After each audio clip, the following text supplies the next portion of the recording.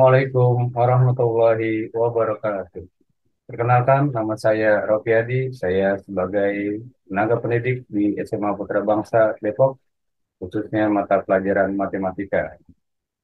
Dalam kesempatan ini, saya juga berstatus sebagai mahasiswa PPG dalam jabatan kategori 1 dari LPTK UBBG Universitas Bina Bangsa Getsemena Banda Aceh. Dalam kesempatan video ini, saya akan menayangkan sebuah video hasil PPL 2 saya dengan model pembelajaran Project Based Learning. Selamat menyaksikan. Terima kasih.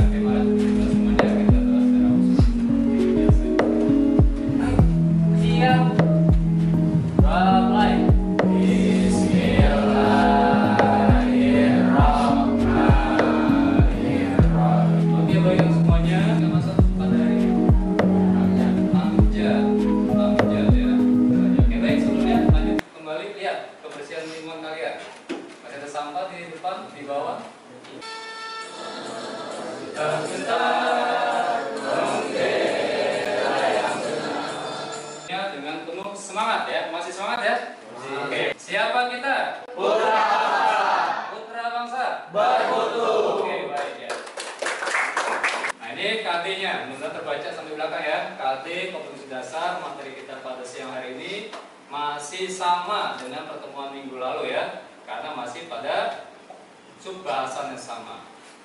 Ya. Kita hari ini sampai hari Kamis ya, dua pertemuan minggu ini kita akan fokus kepada poin nomor tiga. Nah hari ini kita fokusnya poin nomor satu dan dua. Nomor tiganya di rumah hari Kamis dikumpulkan. Nanti jelasnya di slide berikutnya. Oke. Ya, masih ingat apa itu rencana fisika? Ya, ingat acung, angkat tangan. Ya, silakan. Siapa namanya Marcel ya? Ya, Marcel yang keras suaranya. Barisan fisika sih. Barisan matematika adalah barisan yang memiliki beda dua suku berdasarkan urutan solusi. Gambar ini saya agak kesulitan tadi saya mau bawa alat peraganya langsung berupa kelereng ya cuma bingung kalau kelereng harus di mana meja nanti win dan sebagainya silahkan nanti kamu di rumah ya cari kelereng atau nggak ada kelereng apa kalau nggak ada batu boleh batu kerikil ya yang suka tukang bangunan bikin buat apa tuh ngecor ngecor bangunan ya boleh ya ya nah kira-kira kalau kamu sebagai seorang yang kritis kira-kira dari gambar tadi kamu punya pertanyaan nggak bukan jawaban pertanyaan dulu saya minta Coba pertanyaan apa yang bisa kamu munculkan dari soal tersebut? Geometri adalah barisan yang pembanding atau rasio antara dua suku berurutan selalu tetap. Coba periksa. Kalau nggak ada lanjut. Nah ini kelerengnya beda. Kelerengnya ada senyum ya. Ya, kelerengnya ada senyum ya. Emoji ya.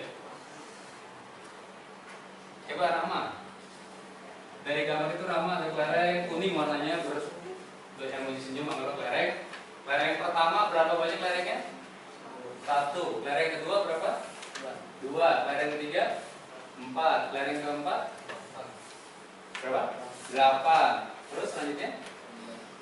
Lima. Enam dan lima isinya delapan lereng. Kotak ke selanjutnya kotak ke berapa?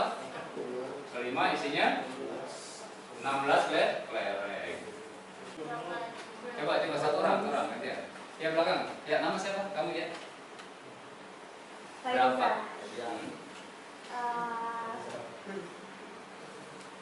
Ya, bikin suku ketujuhnya berapa? Ya bagus betul. Itu pertanyaan ya. Pertanyaan dasarnya misalkan berapakah bilangan yang menunjukkan suku ketujuh? Ya satu, dua, tiga, empat, lima. Enamnya belum ada tapi tanya ketujuh boleh nggak? Boleh nih, nggak apa-apa. Ini pertanyaan dasar ya. Kalau lereng pada suku ke 7 64 Bisa jawab nggak? 64 64, pinter-pinter luar biasa Sudah tahu 64 dari mana 64 ini? Ntar saya tanya nih ya Sama berapa man? Atau ya, suku ke berapa nih? Suku ke 7 nya 64 Suku ke satu itu deh. Satu, suku duanya Silakan ada pertanyaan. Jadi kata kunci hari ini Masih ingat aritmatikanya. Yang kedua apa? Geometri. Apa rumus umum barisan geometri? UN sama dengan A kali R pangkat N kurang 1 Oke selesai. Ya Oke semangat masih? Masih semangat. Oke selesai sesi pertama. Kita lanjut ke kerja kelompoknya. Sebelum kerja kelompok Kalau ada pertanyaan silakan. Ada pertanyaan? Ya silakan jangan dulu Duduk dulu per kelompok. Nanti saya beri instruksinya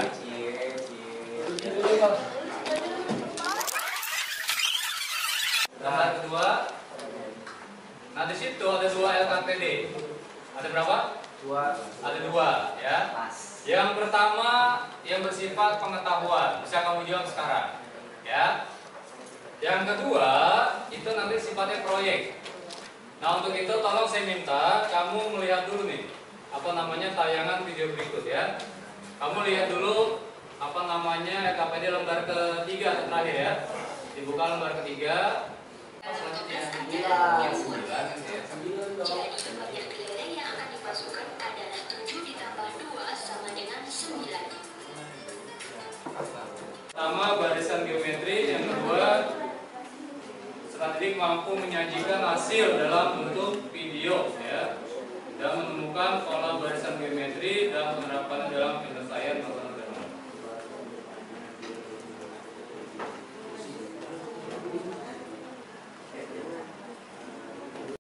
Kalau sudah dibuat videonya, pas saya nggak mau bikin terserah mau pakai PPT, mau pakai Bandicam atau apalah aplikasi silakan ya.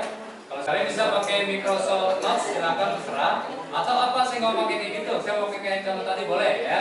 Nanti nah makanya tulis di lembar selanjutnya. Pertama nama proyek apa? Contoh nama proyek apa? Video pembelajaran barisan geometri misalkan apa ya? Alat dan bahan tulis Silakan tulis kalau udah kamu tentukan. Oh saya mau buat ini alatnya apa berarti? Oh satu apa? Perlu kamera nggak? Kalau perlu tulis kamera ya, kamera ya. Kalau nggak perlu nggak apa-apa, cukup apa hand? Handphone. Tulis. Yang kedua perlu apa lagi? Spidol perlu nggak? Kayak tadi kan ada spidol ya. Tulis spidol tulisnya atau buku silakan. Atau perlu apa lagi? Aplikasi apa sebut aplikasinya? SDM apa? Ya itu pasti kan orang ya, itu bukan alat ya. Tulis ya, silakan, silakan tentukan. Sebelum saya hadiri, saya simpulkan dulu mengenai penjadwalan kita bisa hari Kamis ya.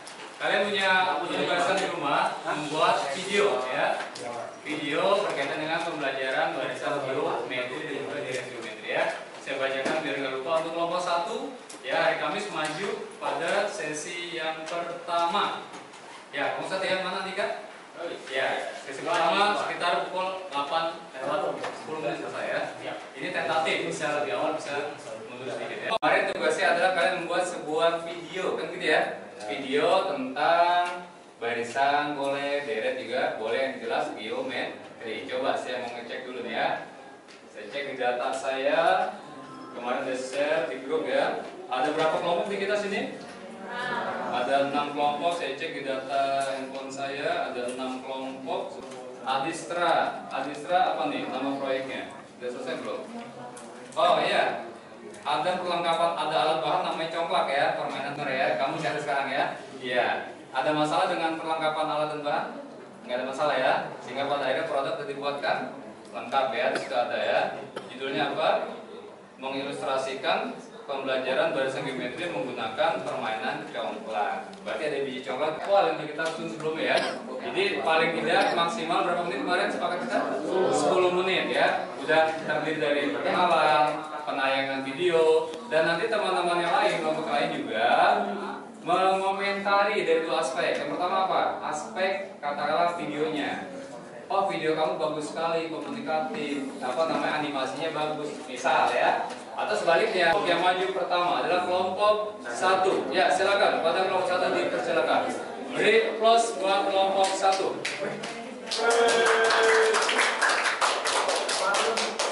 Silakan di Assalamualaikum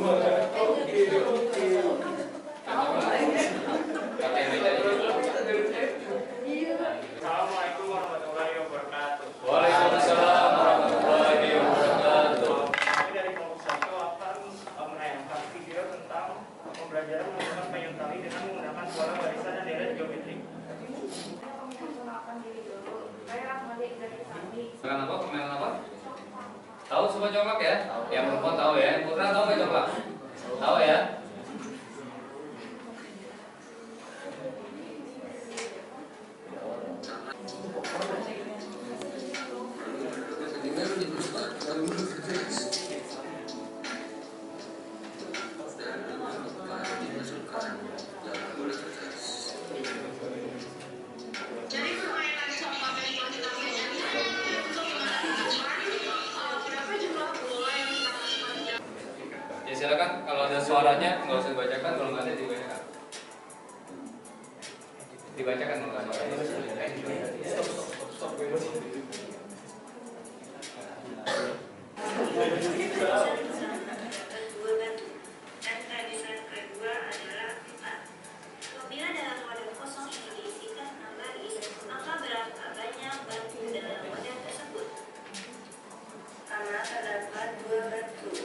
Kedua empat batu, baris ketiga adalah delapan batu, dan baris keempat adalah enam belas batu. Tapi sih videonya lumayan jelas, tapi materinya tuh kayak terlalu advance buat kita. Terlalu advance ya betul. Belum sampai ke sana ya. Iya. Jadi kita bakalan di. Eh. Iya, delapan. Oke, bagus ya. Ya gitu ya kalau empat ya. Jadi materinya terus dulu buat kita semuanya. Ya. Baik, sebelum saya kelompok terbaik menurut saya dan menurut jawaban-jawaban kalian tadi ya, saya perlu paling nggak dua orang nih memberikan pengalaman dari kalian merekam video ini bagaimana sih? Apakah ini sebuah hal yang membanggakan atau menyenangkan? Atau silakan, siapa yang bisa memberikan apa namanya pendapat ya mengenai kegiatan di pelajaran ini dari pertemuan satu hingga pertemuan hari ini. Ya silakan Kemal. Menurut saya, dengarkan yang lain. eh, kalau buat video kayak ini lumayan menambah pengalaman ya Pak. Apalagi Iya. kan eh, video kita juga dinilai, jadi kita tahu kesalahannya di mana. Iya. Terus kita bisa improve, jadi pengalaman yang bagus banget sih Pak. Hmm. Pengalaman sangat ba- bagus, kemudian kita diapresiasi dinilai orang lain dan ya sebuah pengalaman menyenangkan ya. Kita bisa di improve Pak. Iya, bagus ya. Materinya paham ya. Tapi paling nggak senang dulu ya. Kalau udah senang, insya Allah jalan lainnya lebih gam- gampang. Jadi matematika itu jangan dianggap pelajaran yang apa ya menakutkan ya. Harus disenangi dulu. Oke, bagus Kemal. Yang lain coba yang berhubungan mungkin gantian. Siapa memberikan komentar mengenai pengalaman belajar kalian sampai dalam hal buat video ini? Silakan siapa? Ayo saya tunjuk. Ya, ini siapa silakan. Ini. Ya kamu silakan. Oh iya, Siapa namanya? in your dreams. Ya, silakan gimana gimana pengalamannya? Jadi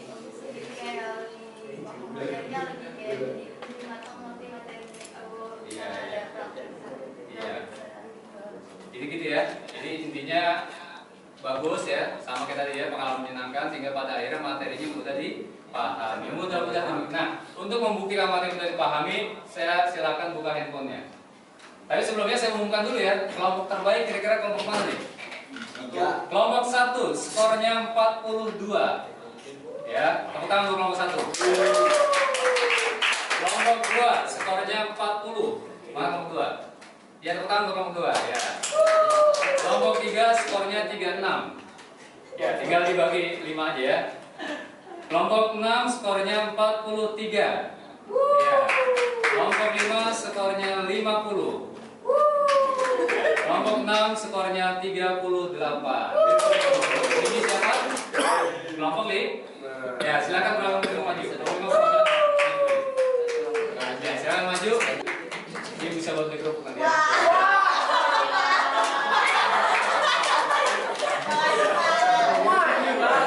Oke. Cukup ya? Ya.